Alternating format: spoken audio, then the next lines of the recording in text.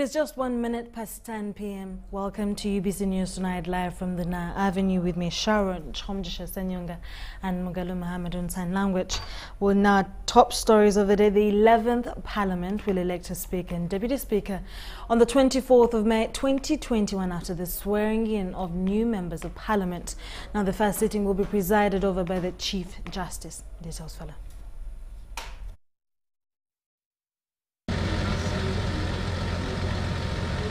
At the south wing of the parliamentary building, preparations for swearing-in ceremony of the 11th parliament are underway. It's expected that all 527 members elect will be sworn in on, over the four days. The ceremony, due next week between 17th and 20th May, will see over 500 elected members of parliament swear in in alphabetical order of their names. It's expected that on Monday, the first day, we'll swear in around 132 members of parliament elect, uh, and each day, each other day will be around between 130 and 132. Previously, members turning up for swearing in have been coming with their family members plus other relatives. However, due to COVID-19 pandemic, a member will be allowed to come with only three people. Anyone going beyond that will be asked to stay outside with their guests until a decision is made on who of the three he, he or she will come in with. This is because of COVID 19 restrictions. UBC TV spoke to a section of legislators about the expectations in the 11th parliament. we are going to have uh, dynamic people, both in the opposition where I belong and also in NRM. And I believe that the young people and uh, those in the ninth parliament who have come back, who have bounced back, have very good experience in order to engage government 7th Parliament, I expect a lot of things to happen. To me, I think that's a period whereby we need to unite the country. We need to bring sanity in our politics. We need to bring sanity in service delivery. because many communities are suffering. Government has done a lot, sent a lot of things, but on the ground, it's a lot of problems, like of sensitization, monitoring. But uh, as a new member of parliament, we are going to bring new changes to make sure that then we deliver service to the people. After swearing in, the MPs will then vote for the Speaker and Deputy Speaker of Parliament on Monday, May 24th at Kololo Independence Grounds in a session expected to be presided over by the Chief Justice Alfonso Winyidolo in the presence of His Excellency Yoweri Kaguta Museveni as the chief guest. Will be His Excellency the President of the Republic of Uganda, Yoweri Museveni, will also be at Kololo as per the Constitution. Bernard Higa, UBC News. Maracha County Member of Parliament Dennis Lee Oguzu has joined the Deputy Speakership race one week to the March anticipated election for both the Speaker and Deputy Speaker dockets. The coming of Member of Parliament Oguzu brings the number of members of Parliament contesting for the Deputy Speakership position to eight. Contestants, however, tight-lipped on campaigning following a directive by the party chairman, President Yoweri Museveni, not to campaign until the supreme organ of the party pronounces itself. Newly elected members of parliament to the 11th parliament have, however, joined the fray of choosing the next speaker.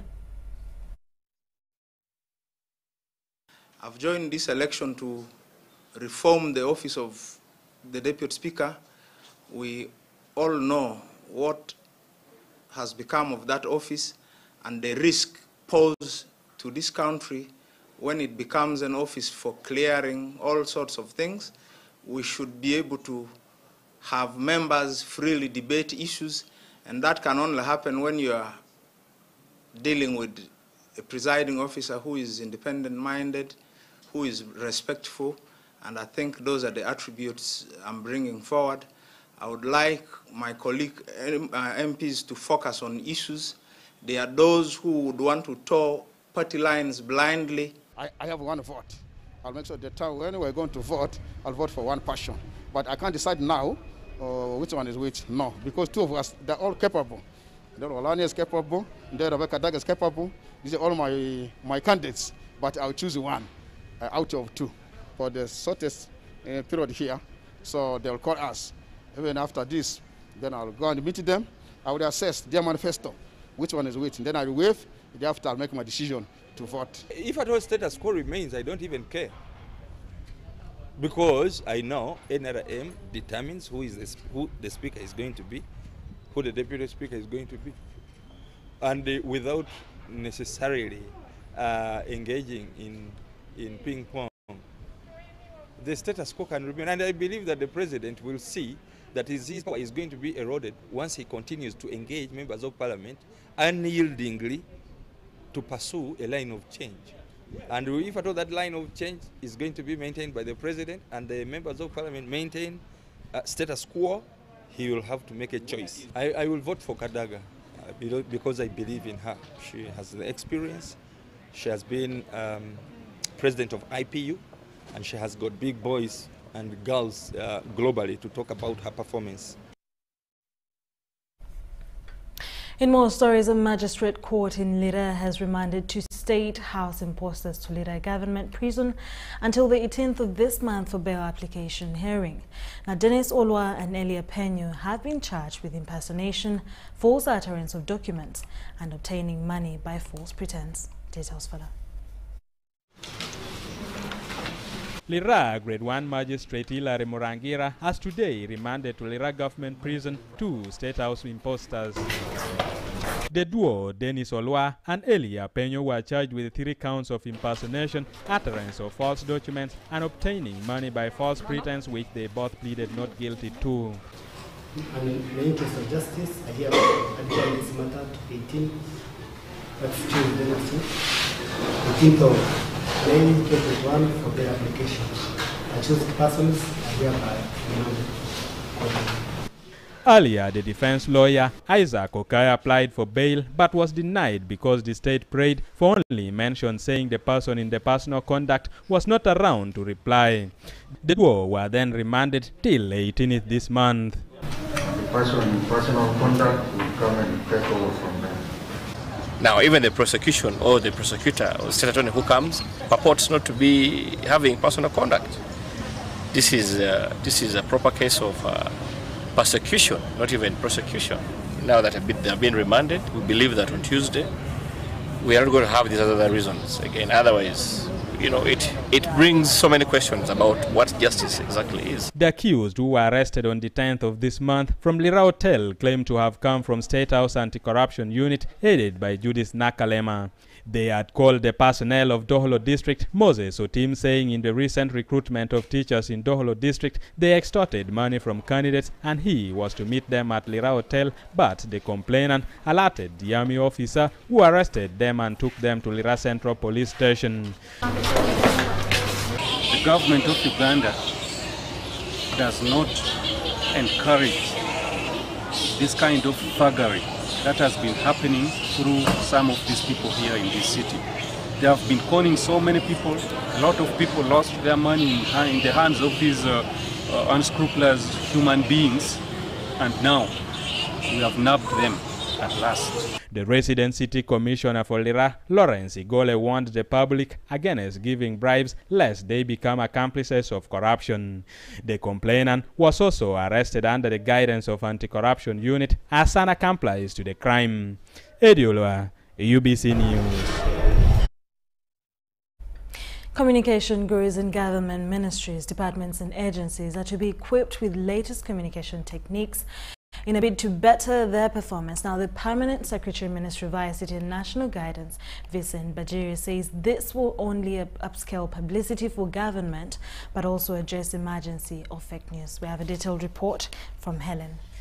Government ministries, departments, and agencies need to up their communication capabilities, especially in highlighting government achievements. Key communication sector players and high profile public officers raised this during an evaluation meeting of the Spotlight UG, a platform that has for the last three years been highlighting milestones registered by government. There is a lot of fake news.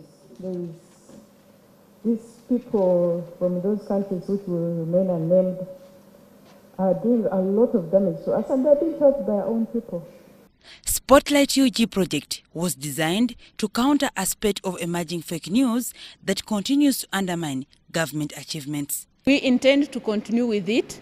We started it uh, to counter the purveyors of, of fake news. It had been too much.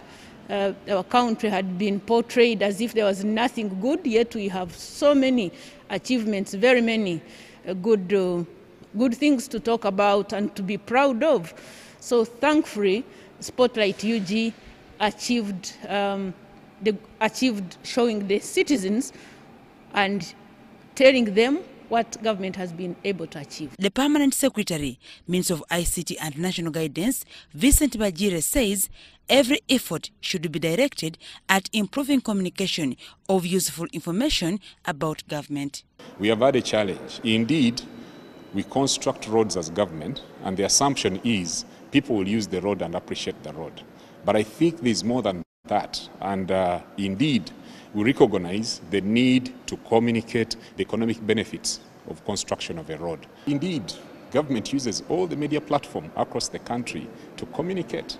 We have government officials that go to uh, the media houses to communicate what they're doing. But what we are saying is we are now going to take that a step further by having a coordinated approach to the government communication officer who in the past was the responsibility of the responsible accounting officer, but now they are going to be under the Ministry of ICT and National Guidance, or they are already under the Ministry of ICT and National Guidance. Now, because of that formalization, we are going to build their capacity to ensure that there is more aggressive communication of what government is doing. Dorcas Kimono, UBC News. In more news, Buganda Road Court has said the 26th of May 2021 for the hearing charges of killing six lions at Queen Elizabeth National Park. Meanwhile, the same court has said the 28th of May 2021 to deliver judgment in the case where two suspects are facing charges of being a common nuisance. The two were found carrying pig heads with placards bearing the names of Bank of Uganda Governor Emmanuel Mutebile and his former deputy, Dr. Louis Kasekende, showing their dissatisfaction over the appointment by President Yoweri Museveni.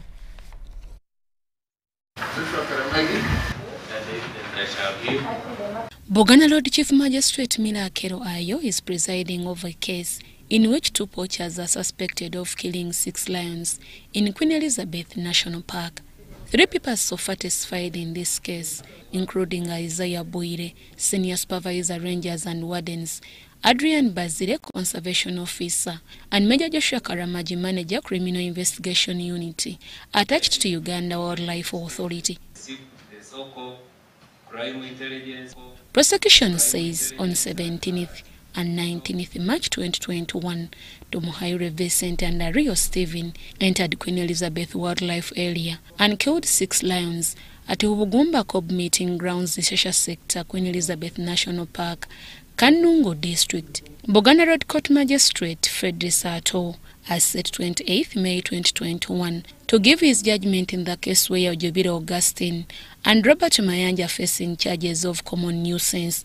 Number two, that is uh, Ojobiri, and the state. This matter is adjourned to the 28th of May 2021. Criminal summons issued against accused number two for the 28th of May 2021. Talking to Mayanja Robert, the first accused person in this matter, after court disclosed to us the whereabouts of the second accused person, Ojubiri Augustine. And uh, I can state that ever since reported, ever since was tested positive of COVID, he has been unstable. Now and again, he complains of flu and fever. So even today, the wife told me that he's not feeling okay. He has cough and flu. He may is not fit for public. That's why he's not here. However, Mayanja says the way the case is being handled violates their rights. I am, I am supposed to operate freely. I'm supposed to be in very many places. But I'm confined here in Kampala. I can't move because if I go away, I would be, I would be perceived to be escaping from, from the processes in court. I don't know. I don't know what is at play right now. But it, has, it is inconveniencing us. Augustine was supposed to travel the two suspects are accused of being a public nuisance when they moved with pig heads on their neck tagged with prayer cards demanding to be debussing Bank of Uganda Governor Emmanuel Tumusiime Mutebile and his former deputy Dr. Louis Kasekende. The accused by showing their dissatisfaction allegedly said that Ugandans are dying day and night under poor management of public resources, while that was spearheading corruption in the national's treasury. Deborah Namamonde, Nantongo Becky, UBC News. Uganda will commemorate the United Nations 6th Global Road Safety Week beginning on the 17th to the 23rd of May 2021. Now this will be under the theme Streets for Life, hashtag Love 30 that calls for 30 kilometers per hour speed limits where people walk to save lives. The Minister for Works and Transport General Katumba Wamala launched the campaign saying that the campaign aims at sensitizing masses on safety of roads. This was during a press briefing held at Uganda Media Center in Kampala district. Speeding causes all this and makes the chances of one getting an accident higher than what would be normal. Research has shown that reducing speed by just 5% cuts fatalities by 30%. I therefore call upon each and every one of us, each and every one of you, as you live here, as you sit in that vehicle, if you're not the one driving, even if somebody is driving, tell him to reduce the speed to 30 kilometers per hour in the urban center. Not only today, not only today, but always, because in the urban centers we have more activity, we have more people moving back and forth. According to the 2020 police annual report, more fatalities were recorded for persons below the age of 35 years, and these accounted for 57% mainly due to speeding. The human and financial loss is very huge to a developing country like Uganda. Because when these lives are lost, that means these are taxpayers. Then government will not be able to get taxes. Families' lives will be shattered. Like now, among those 15 lives which were lost last week, you can imagine what has happened to those lives. I mean, to those families now. Most of their lives have changed for good. Even those who have survived, some of them will be, uh, will be, they have been disabled for life. So what they could do as human beings in support of their families, they will not be able to do uh, because of this, uh, this, you know, accident. So it's a matter of concern for all of us and should be a matter of concern for you and me to ensure that we have safety on our roads. Government, through the Ministry of Works, participated in the third Global Ministerial Conference on Road Safety in Stockholm, Sweden in 2020, where a declaration was made about road safety. The Ministry of Works is now committed to implementing policies and interventions that promote walking to avoid road carnage. Road traffic crashes are known and they're preventable. Sometimes it's lack of patience, a matter of a second, matter of a minute, Somebody cannot wait for his friend just to cross. And you keep hooting, we, as if you are, there's no tomorrow. it's just a matter of patience sometimes. Speeding is one of the contributing factors, accounting 30, for 36% of all fatalities in Uganda, according to the police uh, traffic report. Bad roads, especially in Kampala, have been identified as some of the causes of road accidents in support with the KCCA when they made those efforts to have the non-motorized transport arrangement in the city, which unfortunately we have abused. the border borders are still riding on those roads. Uh, it is still a very big challenge. But we support that non-motorized transport arrangement and uh, we, we, we will back up the KCCA and all the city authorities out of the seven cities now to have that kind of arrangement in their city. At least 3,663 deaths were attributed to poor road use in 2020. Helen Barbara, Dan Lugemwa, reporting for UBC TV News. Well, that's a reminder for you to just be careful while driving, knowing that there are more people on the road.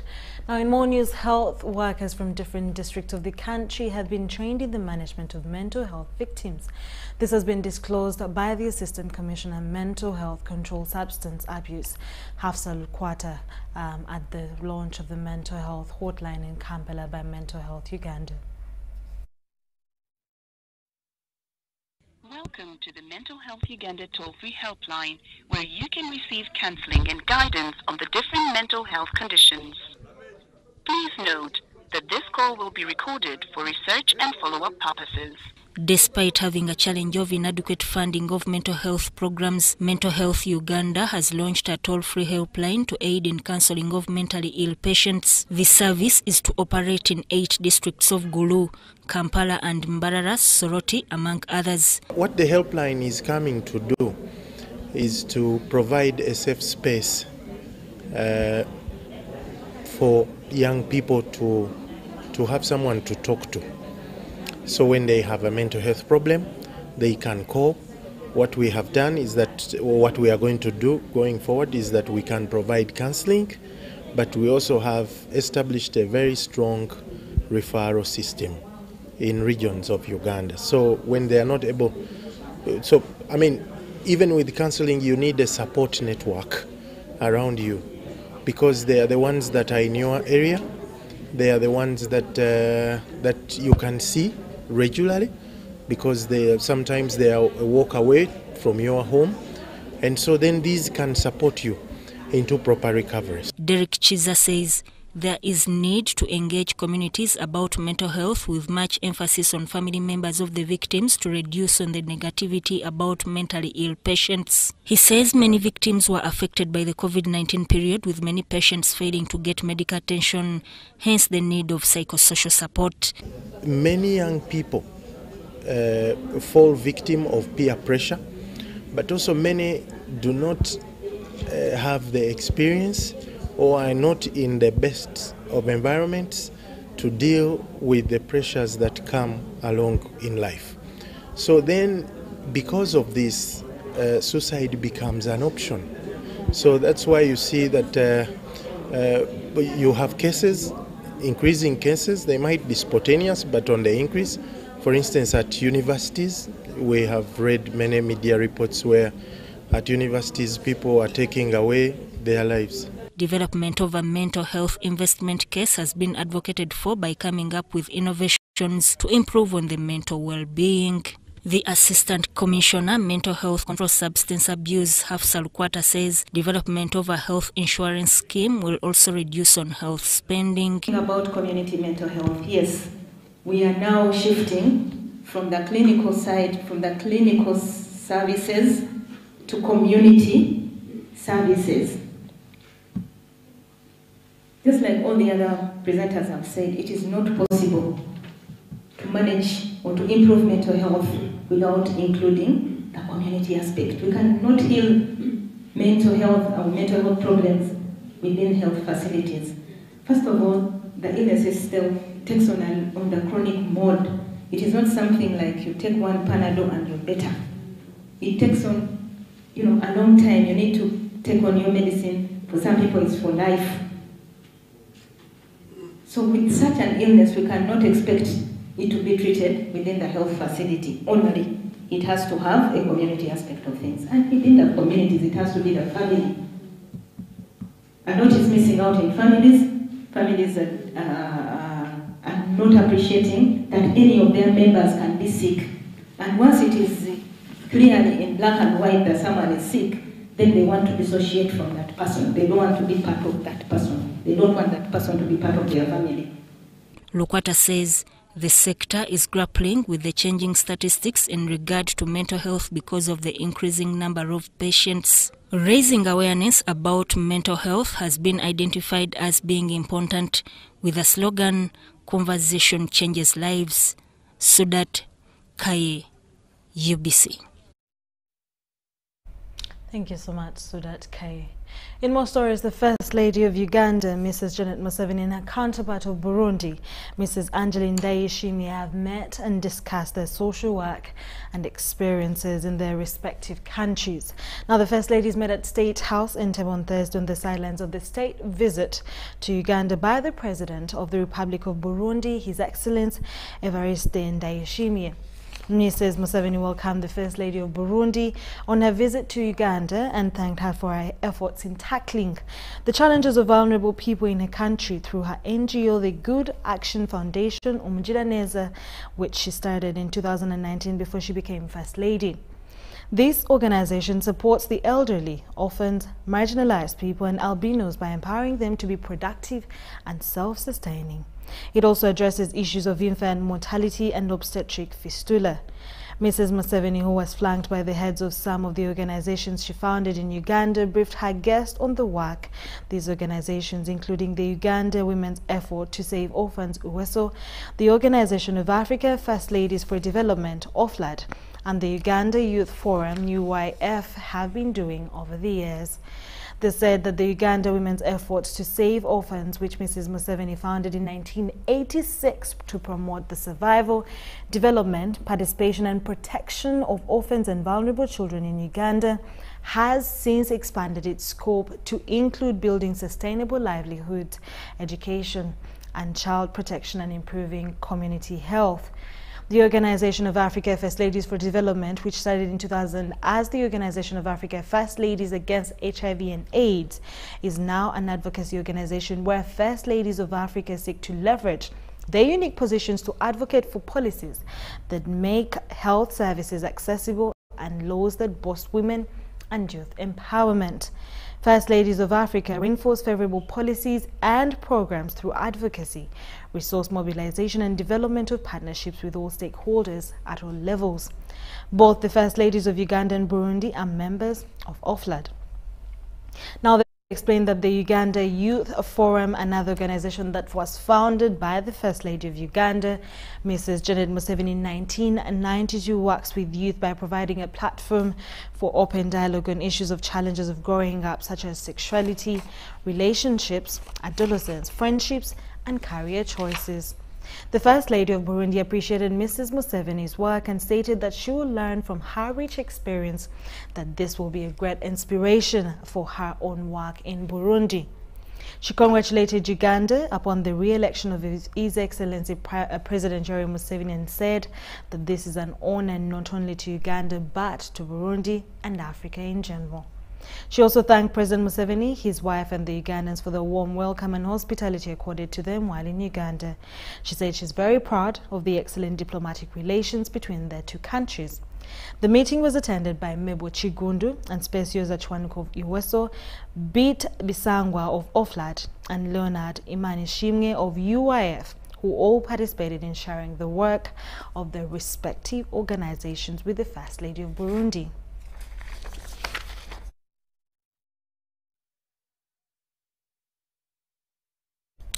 Former Executive Director, Uganda Investments Authority, Dr. Maggie Kigozi, has asked women entrepreneurs to support fellow women who are still struggling. Kigozi asked women to support each other to realize better livelihoods. She was speaking at a dinner organized by Mothers by, by Find Us Sherere events at Skyz Hotel Naguru in Kampala. Being a mother is one of the greatest things on planet Earth. This is because mothers complement God in co-creating human beings. A former executive director, Uganda Investments Authority, who is also an entrepreneur, Dr. Maggie Kigozi, says women deserve support, respect and education because of this vital role. She urged women to be role models to their children. It's now a different generation, a very informed generation, uh, so the mothers need to, to now um, pay more attention uh, give time to their children uh, so that they can uh, help them along. Kigozi was officiating a Mother's Day dinner organized by Find Us Sherere Events at Skyz Hotel Naguru in Kampala. She said women and mothers in particular are the most important human beings because of their reproduction role. She criticized negative cultures and habits like female genital mutilation, gender-based violence and kneeling for men in public places habits that degrade women's image. Female genital mutilation in some tribes in Uganda and in other countries, in many, many other countries. I think in Egypt about 70% of the women are circumcised. And this is really bad. This is something that must stop. God made women perfect. When he created a young girl, he created her perfect. nobody has a right to change her body, but this is happening right now. Uh, and uh, it is something that needs to stop. It's not fair to the women to kill their sexual, um, sexual, what would it be? The managing director, Find Us Sherere Events, Irene Kusima Oramire, said the organization finds pleasure in making women happy, a reason they had hosted Kamwacha women groups to dinner and offered them capital to boost their businesses. I felt like we needed to identify some of these mothers that were affected by COVID that do not have so much. I said, let me go around and find out where I can help out, where whose life I can touch, and see how I can help them be better. The director, Victoria Education Services, Dr. Barbara Buyondo, who was one of the guests at the event, appealed for women's support in their quest for better livelihoods. Go through what you're going through because nobody will hold your hand. But when you share, someone will hold your hand. Someone will walk with you, and you'll be able to outcome. I mean, to outgrow that particular thing. Because I can't only say domestic violence. Women are going through so many things. There are those that have bought land, and the land has been taken. So there are many issues. But just learn to share. Look out for mentors, especially mentors uh, that can really pour their time, I mean their heart and time for you so that you can be helped to grow.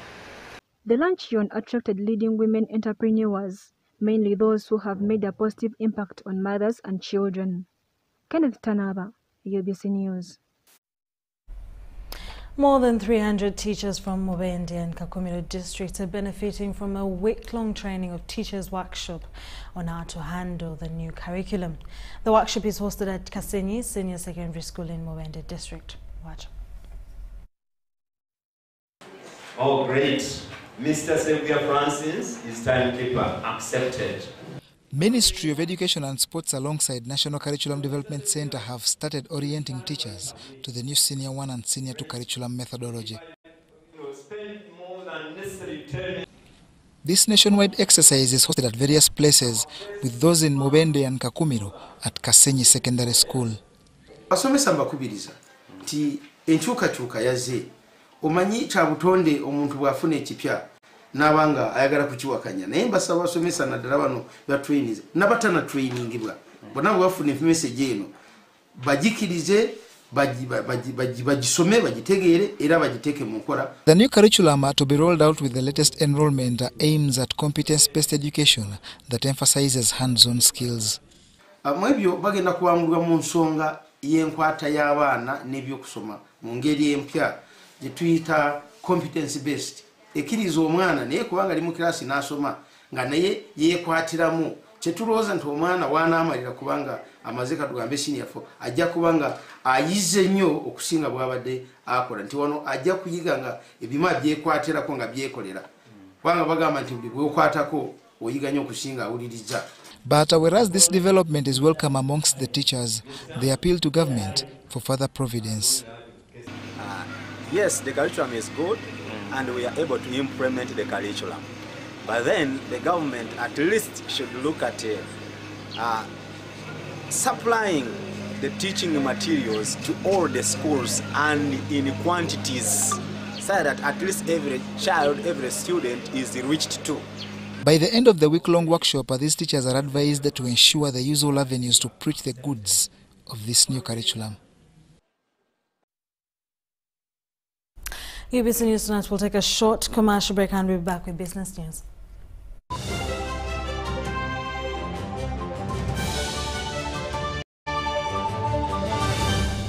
Today in history. On May 14, 1948, Israel was declared to be an independent state and a provisional government was established. Formally, the declaration of the establishment of the State of Israel was proclaimed by David Ben Gurion, the executive head of the World Zionist Organization, chairman of the Jewish Agency for Palestine, and soon to be the first Prime Minister of Israel. Immediately after the declaration, Israel was attacked by the neighboring Arab states, triggering the 1948 Arab Israeli War. And that day was today in history.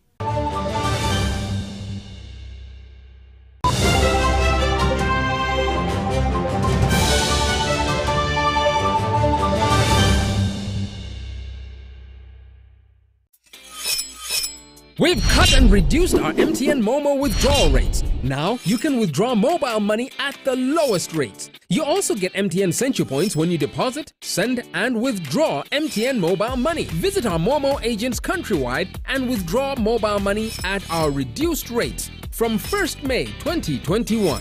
Everywhere you go. MTN. The Minister of Agriculture, Animal Industry and Fisheries congratulate His Excellency Yoweri Kaguta Museveni on your inauguration as the President of the Republic of Uganda.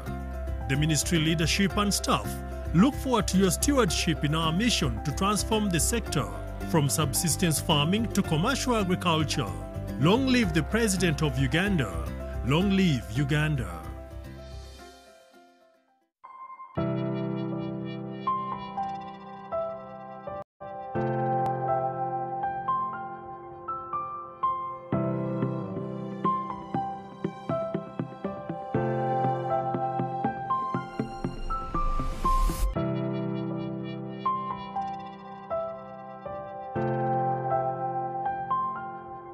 Ekya covid-19 kijja kugwa if we get vaccinated now observe social distancing. Wear masks properly. Sanitize or wash our hands with soap and water regularly. Together we can defeat this enemy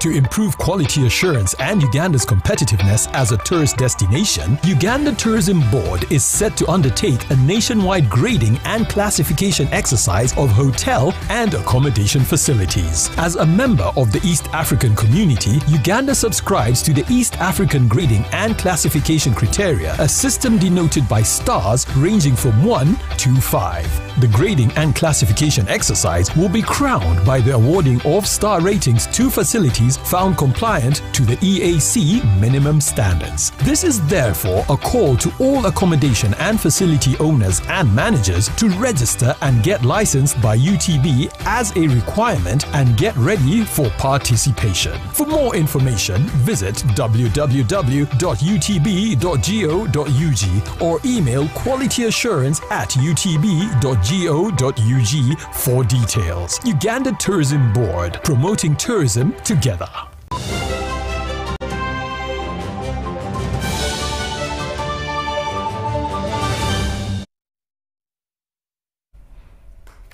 In our business news today, Finance Minister Matia Kasaija has launched the National Budget Month for financial year 2021-2022 that aims at creating awareness about priorities of the budget and opportunities. Our budget is an open, what I say, is an, an open good. Uh, when I was still uh, young and I had started working, the budget was kept as a secret, total secret, because they did not want to announce taxes. The minister would come and say, starting with the midnight today, the petrol has the 10 cents has gone, has gone up by 10 cents. It was kept secret by the Minister of Finance and by think even the President. For us, that one, we are beyond that because the budget is your tool. So you should be given opportunity to participate as, as much as possible. At URA, we want to pledge our commitment, our recommitment.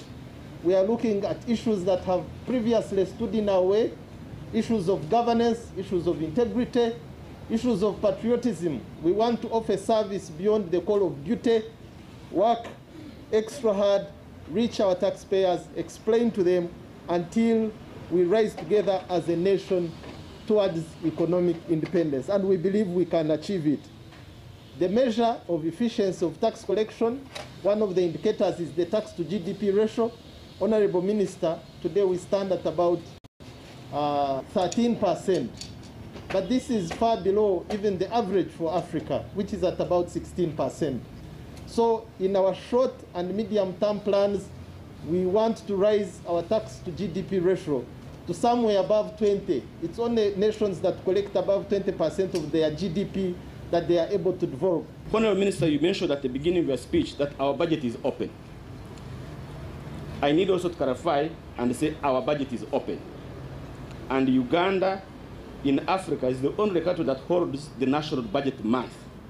And for us, we take it as a credit. By making it open, it also comes with responsibility that we should be asking more questions from government, which we think is good so that we can improve transparency and accountability. Uganda, Uganda Registration Services Bureau has launched a journal that will help inform URSB's public publics in regards to all the services rendered by the institution. The recently appointed Registrar General of URSB, Mercy Kainobwisho, updated journalists at a media breakfast on the various innovations the Bureau is undertaking to increase efficiency. Marking 100 days in office, the newly appointed Registrar General, Uganda Registration Services Bureau, Mercy Kainobwisho, is set out for vast challenges that the Bureau performs to the public's expectations. We want to see uh, the strengthening of institutional capacity of URSB to uh, deliver on its mandate. For decades, creative artists in Uganda, especially in the entertainment industry, have suffered copyright infringes, a challenge that has demotivated many from growing their skills as professionals. We've had regular engagements with our collective management societies. These are societies that represent the, the, the interests of uh, the respective owners of copyright and neighboring rights. The works in the literary works, in, in the film industry, and we have engaged them to ensure that we have um, a, a conducive environment for protection of uh, copyright creative works. One of the key achievements at URSB that is expected to be leveraged is the use of digital platforms to enable efficient service delivery to Ugandans. So one of the things that concerns me is, do we have um, a, a, a, protection system? Do we have these documents on the cloud? Do we have, uh, what, what do they call that? The off, off, off, off-site storage and, and things like that, so that in case uh, some nefarious person decides to attack that house, we are safe. The launch of the journal by the Bureau signifies a milestone in streamlining all the multiple services that URSB is providing to the public of Uganda.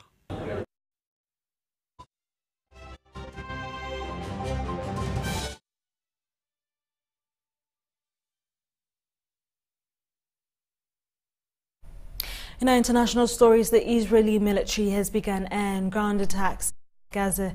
An Israeli military spokesperson said following an unprecedented assault unleashed by Israel's military on the Gaza Strip on Thursday night. The spokesperson said in a statement early Friday morning that before midnight, its forces struck Gaza with airstrikes and artillery as rockets from the Palestinian enclave continued to be fired towards Israel. Israel state-owned Kan TV News reported that the magnitude of the attack was unprecedented since the beginning of the offense on Monday. Within several minutes of the assault, Israeli military fired 150 bombs striking different targets in various places of the Gaza Strip, killing a mother and her three children. Meanwhile, the armed wing of Hamas, known as Al-Qassam brigades and other less influential militant groups fired 150 barrages of rockets from the Gaza Strip into Israel. Hamas said it will respond to the Israeli attacks with more rockets. So far, Israeli groups, troops, ground troops have not entered Gaza, according to Israeli military. At least 103 Palestinians and 8 Israelis have been killed, according to Palestinian and Israeli official figures. The Al Qassam Brigade said its troops had fired more than 1,700 rockets at northern, central, and southern Israeli towns since Monday.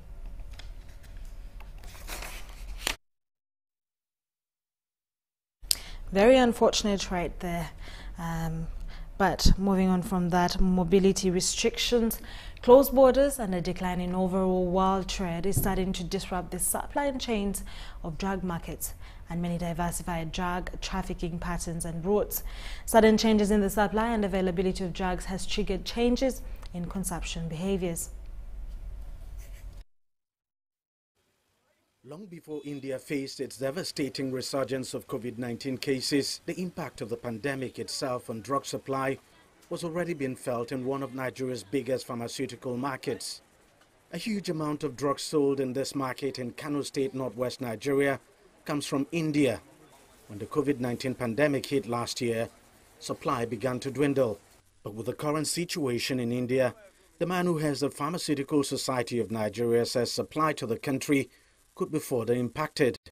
Uh, we anticipate that there is going to be some negative impact because India is the world's um, uh, factory for uh, manufacturing, especially pharmaceuticals.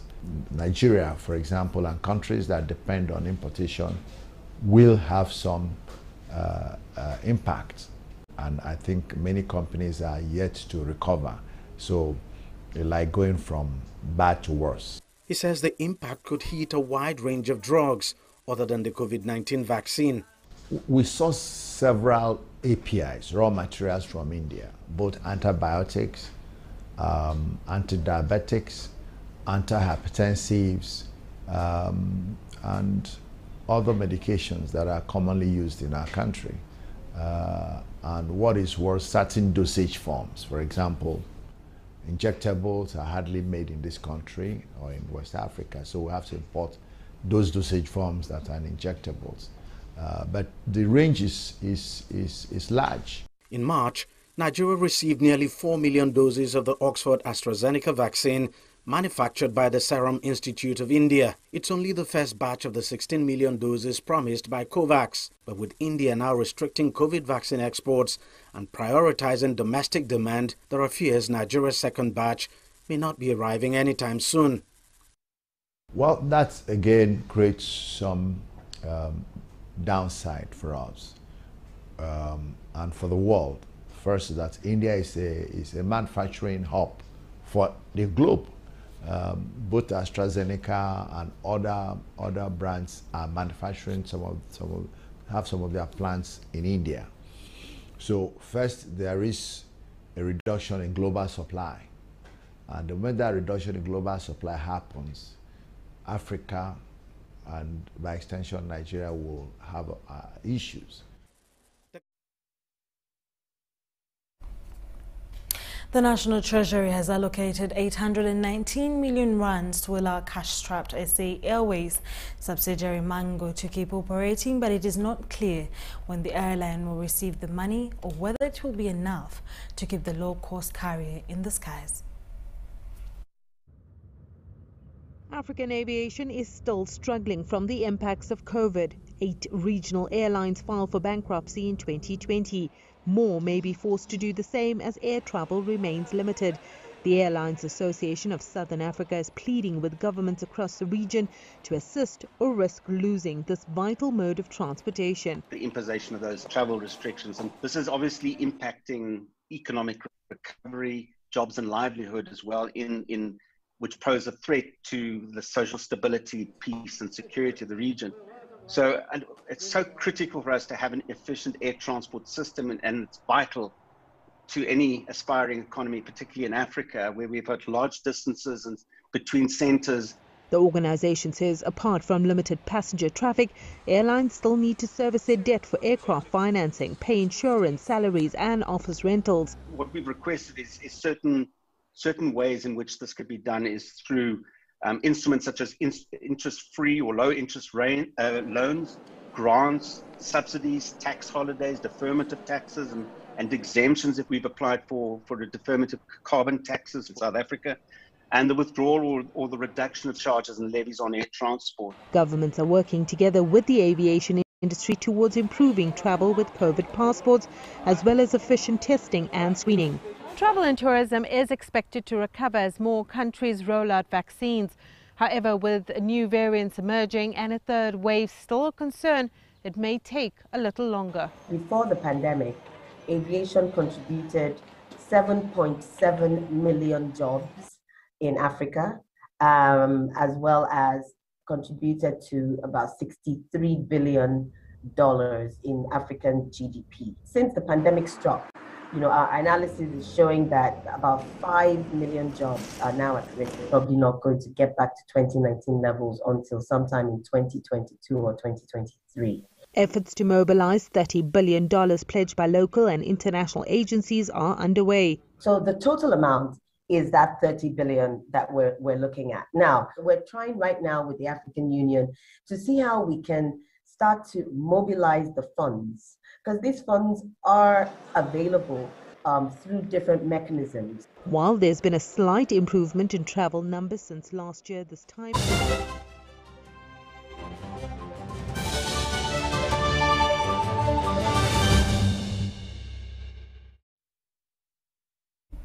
From the sports in Jurgen Klopp celebrated his first win at Old Trafford as Liverpool. Marcus Rashford pulled one back for United midway through the second half, but Mohamed Salah wrapped up the points with a late the German Cup finals was held behind closed doors on Thursday night due to COVID-19 epidemic restrictions. This is the second year for the German Cup finals to be held behind closed doors. According to organizers, all attendees, include staff and players, are required to present their certificates for negative results of COVID-19 nucleic acid test. Media are required to have accreditation to enter the field and in limited numbers. All the football clubs are responsible for ensuring the players are free from infections. With this epidemic situation turning from the better, turning for the better, uh, the next football season is expected to remove the anti-epidemic policies. Friedrich Keller, president of the German Football Association, said earlier that he hoped the spectators would return to the football stadiums as soon as possible by using quick testing and vaccination. Affected by the epidemics, Germany football industry suffered heavy losses. The strict anti-epidemic restrictions have led to a sharp drop in ticket sales and the cancellation of fan meeting offline activities. Some event organizers have tried various means to salvage themselves, such as organizing online activities to attract spectators and the building of the first stadium with an adjustable color lighting system and the development of lighting tools.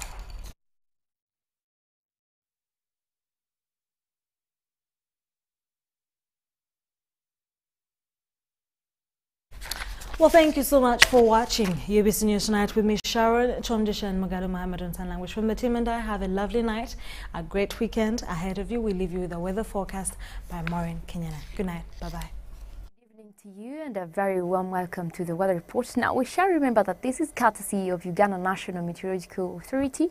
My name is Maureen Kenyana.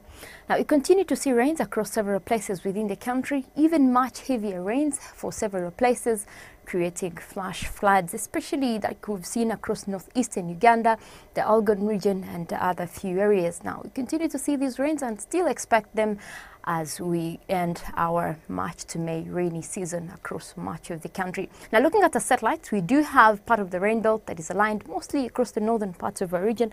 Now that is bringing us rains, especially across central north. Now this is the system that was bringing us rains this evening and also throughout the night across parts of Gulu as well as the rest of central northern Uganda. At the same time, we also see the Congo air mass that is moving in towards the country and that is bringing us rains most especially across the western part of the country as well as the southern sector. Well, Saturday morning brings with it rainy conditions. Those will be across the central and western part of the Lake Victoria Basin. Some of that will make its way across uh, central and midwestern, as well as parts of southwestern Uganda. But the rest of the country, you will have mostly intervals of sunny and cloudy conditions. Now, later in the afternoon, we're likely to have more of these rains develop across the country, although we're likely to see a clearing trend that will be across midwestern all the way through the parts of central as well as the eastern part of Lake Victoria Basin. At the daytime highs, we are forecasting a maximum of 27. That will be across Kampala, Masaka, Jinja and Tororo. We're seeing a, a high of uh, 28 degrees centigrade.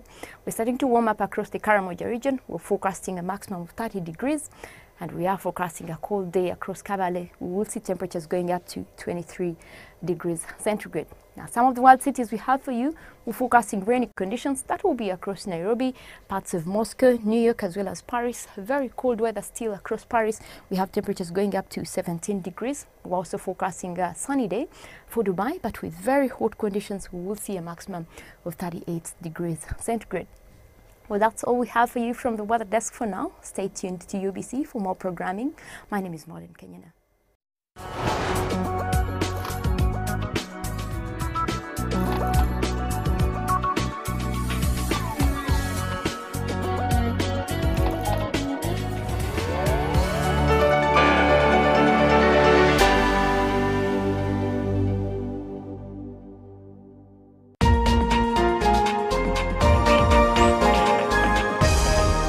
Up next on UBC, brought to you by. Keep the lights on. Use Airtel Money to pay for all your Yaka bills conveniently. Open the My Airtel app to buy Yaka units. Airtel